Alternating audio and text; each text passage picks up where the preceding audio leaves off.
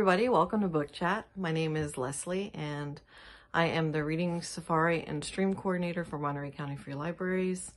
Today I'm bringing you another book. This one is a book of poetry um, called Lord of the Butterflies. This is by Andrea Gibson. Andrea Gibson is an American poet and an activist um, who writes performance poetry um, on the subject of politics, LGBTQ plus issues, social justice, and although their um, poetry is at its core performance poetry, it lives perfectly well on the page. So this is her latest book of poetry. Uh, it was published in 2018.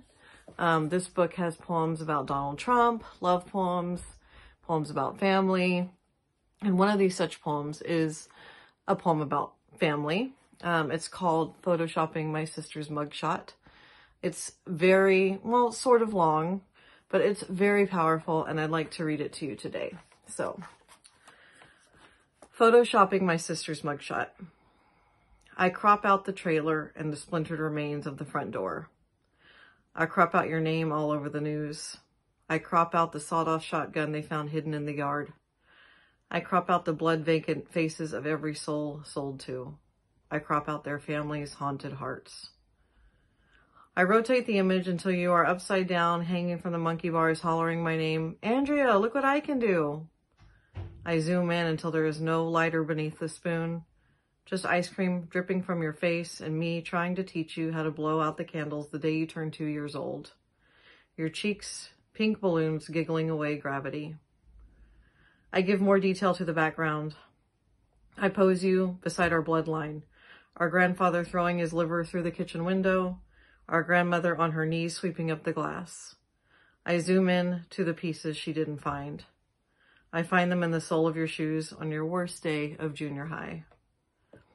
There is a thin line between skewing the truth and giving a panoramic view. I don't know if I'm winding the lens or just making an excuse when I say you were a kid the first time you used.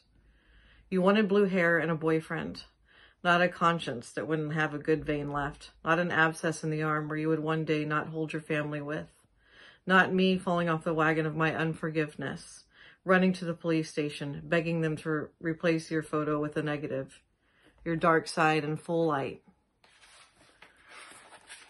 The filth-hungry scream in your body every time you tried to get clean, the clinic that told our mother you would die if she didn't send you back out to the streets to find the poison, to kill the bugs, how I'd count your legs when you walked into a room.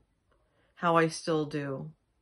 But that isn't the right exposure, because you are also the kindest person I ever knew, and that in itself has been its own dark room, considering the ugliness is to scale, considering our family tree, and how there isn't a person who loves you who isn't dead at the branch.